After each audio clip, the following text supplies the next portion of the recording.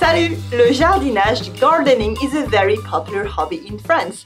It keeps you close to nature, it brightens your backyard, and it makes you exercise outdoor in a fun way. You get to enjoy shaping life itself, things that will grow thanks to you. You're literally planting seeds for the future. And in France, we have our own traditions, vocabulary, and expressions surrounding gardening. Which ones? I'm Géraldine. Bienvenue sur Commune Française TV. Sound French, even to the French. Let's dive in. Jardiner, jardiner means to garden. It's being done by un jardinier, un jardinier, a gardener. Une jardinière, une jardinière is a woman gardener, but it's also the word for a special box of flowers, as well as a mix of vegetables called une jardinière de légumes, une jardinière de légumes. But let's go back to gardening. Many people only have un balcon, un balcon, a balcony, to grow flowers on, but most houses will try to have un jardin, un jardin, a garden in their backyard. Bigger places will have un potager, un potager, a patch for vegetables as well. And who knows, maybe une mare, une mare, a small pond, or un verger, un verger, an orchard in English, I think. But at some point, you don't really have a garden anymore, but un domaine, un domaine, an estate. Land is harder to come by in the city. Nevertheless, it's trendy now to be part of un jardin partagé, un jardin partagé, a communal garden between neighbors, or even un potager urbain, un potager urbain, an urban vegetable garden. This way, you can watch your tomatoes grow even as a city dweller. So, qu'est-ce que je peux faire pousser? Qu'est-ce que je peux faire pousser? What can I grow anyway? Well, first there are des plantes, des plantes, plants. For instance, des fleurs, des fleurs, some flowers, such as des begonias, des begonias, we say un begonia. Or des roses, des roses, we say une rose, roses. Legume, legume vegetables are also a good choice if you can. It's always nice to eat une tomate, une tomate, un radis, un radis, a radish, une courgette, une courgette, a zucchini, or une aubergine, une aubergine, an eggplant, straight out of your own garden.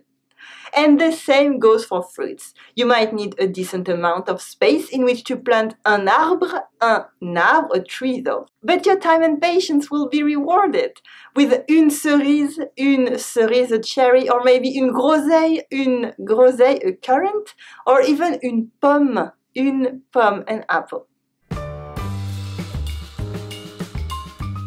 Comment faire? Comment faire? How can you do it, by the way? Well, you just need time and maybe a few tools. First of all, un arrosoir, un arrosoir, a watering can. This is very useful for arroser, arroser, watering your plants. Un sécateur, un sécateur, or sécateur I think in English, or pruning shears, can also be a great help if you want to trim, or in French, tailler, tailler your trees, or simply entretenir votre jardin entretenir votre jardin, to tend to your garden and to do some yard work. Get rid of les mauvaises herbes, les mauvaises herbes, the weeds. For more work, you probably need un râteau, un râteau, a rake, or une pelle, une pelle, a shovel, or une brouette, une brouette, a wheelbarrow as well. Or you can use the power of an engine like une tondeuse, une tondeuse, a lawnmower, or who knows, maybe something bigger, une tronçonneuse, une tronçonneuse, a chainsaw. Several expressions sur le jardin, expressions about the gardening, crop up in the French language in both formal and colloquial French.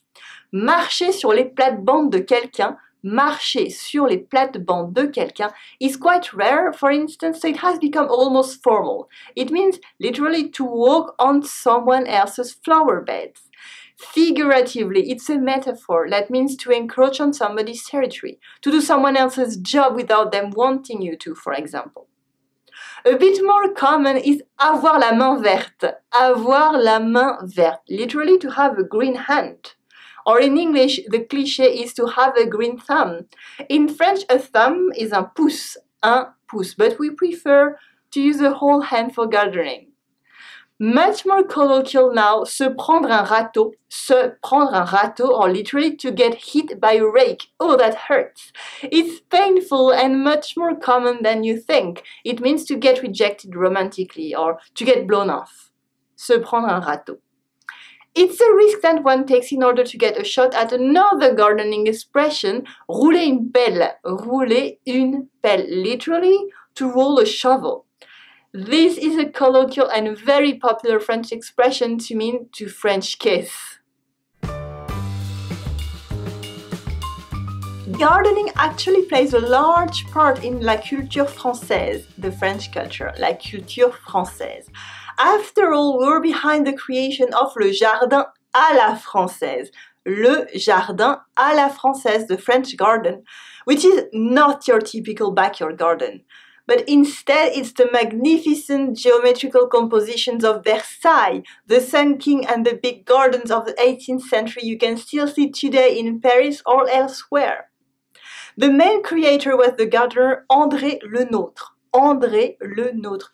He has no links to La Pâtisserie Le Nôtre, the great pastry shop. And don't mistake either of them with the common word Le Nôtre, Le Nôtre, which only means ours. Il est à vous ce gâteau Oui, c'est le nôtre. Il est à vous ce gâteau Oui, c'est le nôtre. Is this cake yours? Yes, it's ours. But the first gardener might be, in a way, the poet Pierre de Ronsard. Pierre de Ronsard, from the 16th century. His most famous poem is called Mignonne, allons voir si la rose. Mignonne, allons voir si la rose, or Pretty girl, let's go see if the rose, etc. In a few lines, he crafts a metaphor about the blossoming rose and the young woman. When they reach the garden, of course, la rose a fané. La rose a fané. The rose has already faded, just like we will all fade with time. The poet then urges the young to seize the day before it passes. The Epicurean message resonates with another major work within French literature, Candide. Candide by Voltaire, the French writer. It's a mid 18th century tale about philosophical satire that's very often taught in French middle school. It deals with a protagonist called Candide, Candide, whose name also is French for uh, naive or gullible, and he's trying to learn a good way to live while having to endure many, many, many disasters, hardship, and tribulations.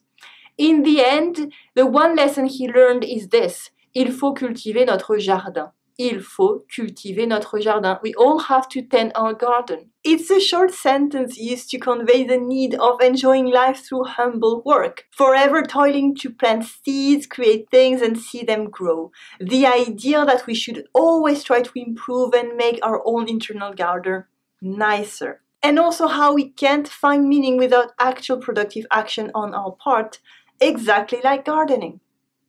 Et toi, do you have a garden that you take care of? Tell me in the comment section in French. I want to hear from you and it's great practice every week. If you're on YouTube, you will find a link below this video to the blog commeunefrancaise.com. On the site and on the site only, I read all the comments and answer all your questions as well.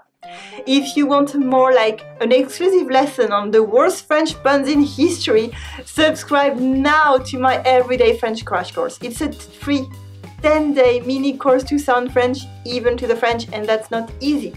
It's super easy to join the course. Leave me your first name and your email, and I will send you lesson one straight away. Best of all, it's all free.